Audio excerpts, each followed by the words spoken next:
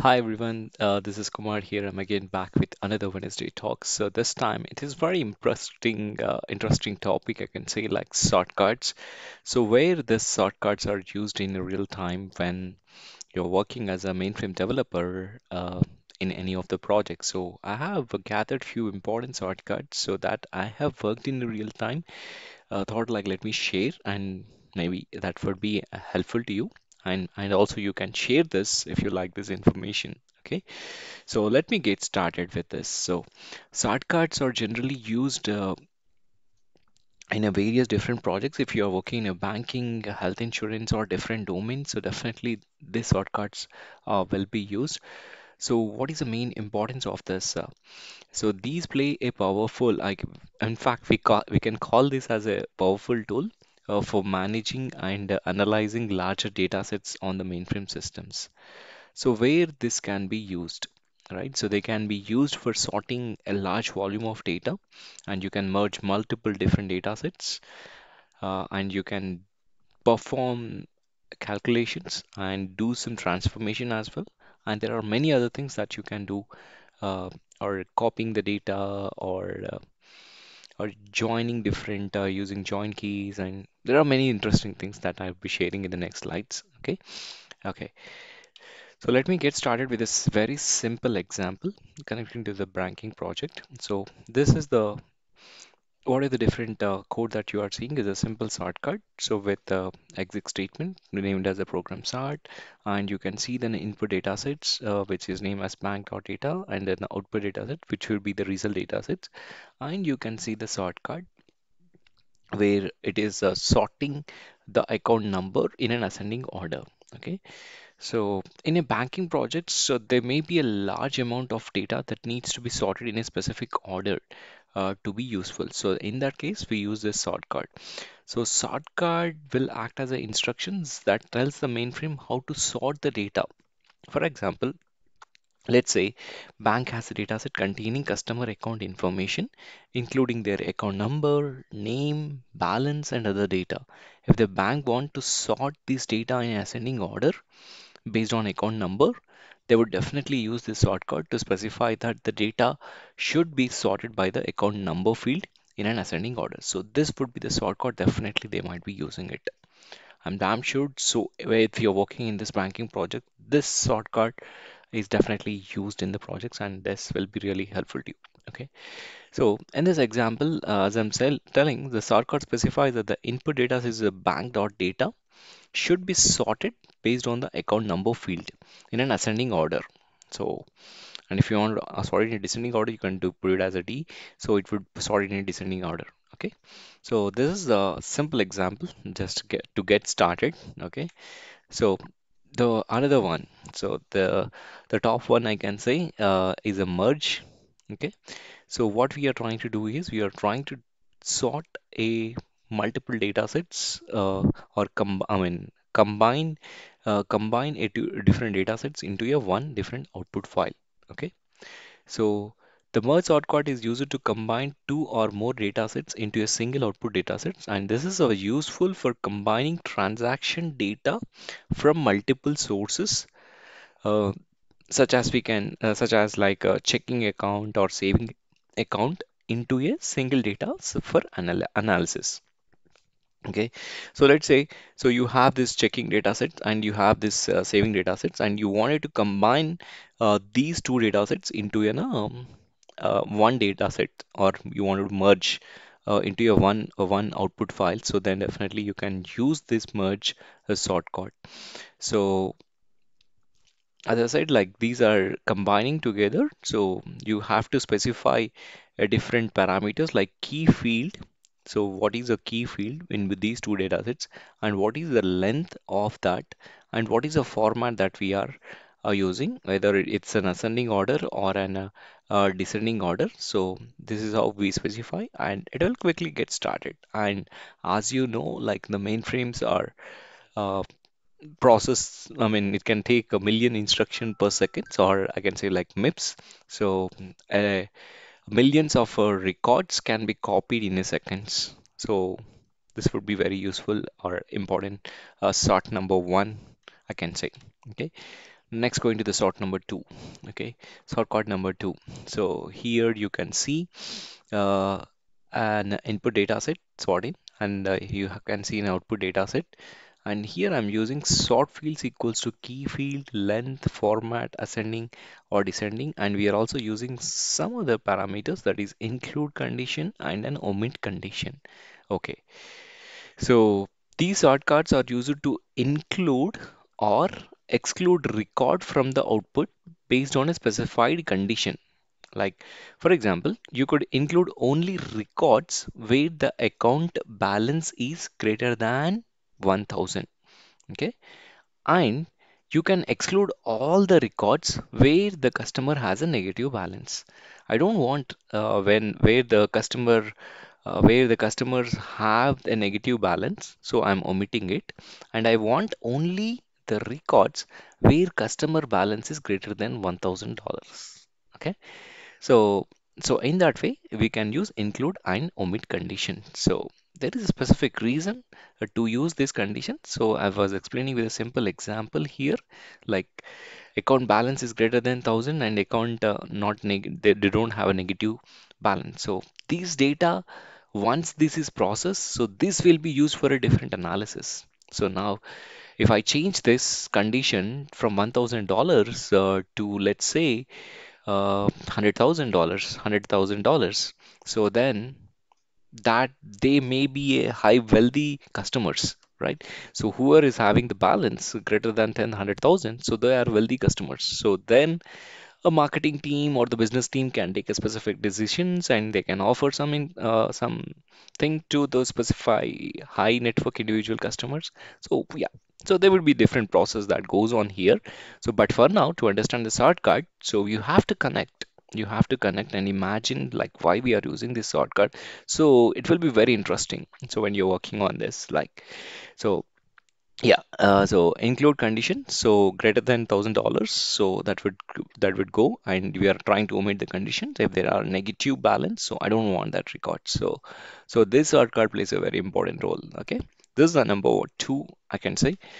Number three, okay, joining. Okay, uh, so join keys. Uh, this is this is also one I can say like one of the very important sort cards that we regularly use in our day-to-day project. Okay, so as you can see, again, we are the, the the utility that is used is a sort, and how many input files we have, like sort in, sort 2 These are the two different input files, and we are uh, having one output file. So, okay, let's see here. We are using join keys and uh, sort fields. Okay, what is join keys?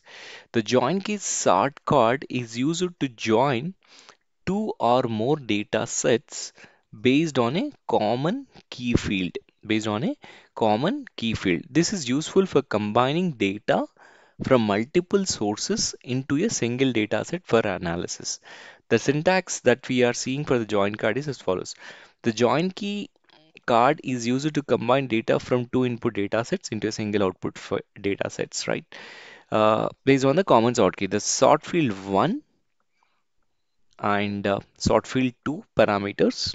The sort field 1 and the sort field 2 parameters specify the field to use the sort key in each data sets.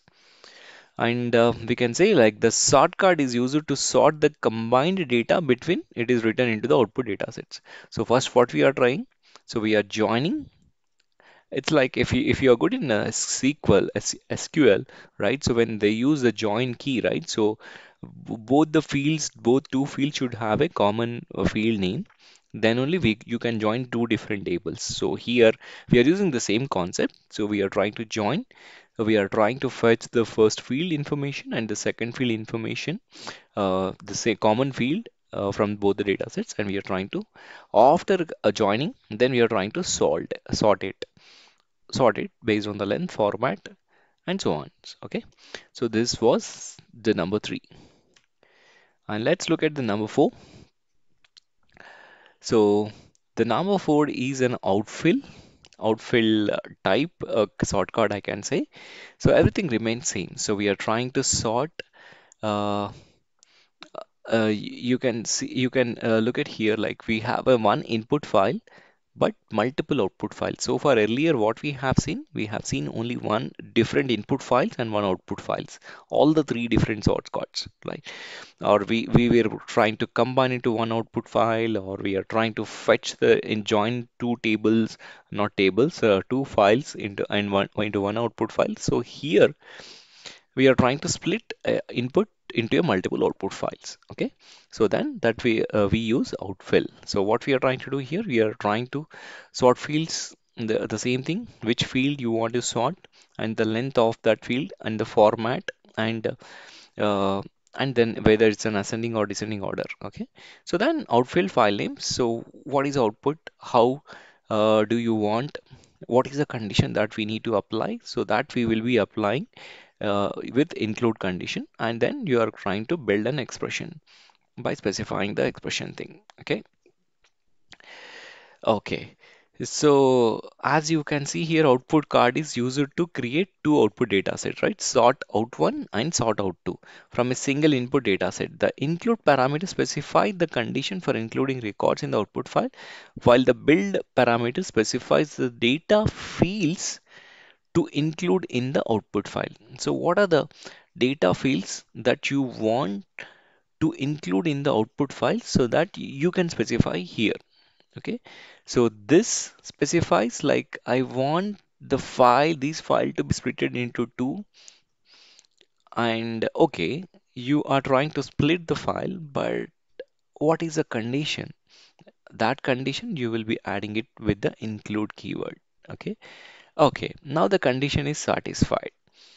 Do you want me to copy the entire uh, fields into these output files or you you have a specific uh, requirement that specific fields information you want to copy? Then you can build that specific expression and you can specify those fields.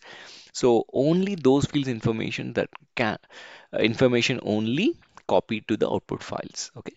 So this is a uh, number four uh, sort card okay the next coming to the uh, number five. So we have uh, another utility I can see like we have like uh, uh, ICETOOL. Ice tool is another uh, utility.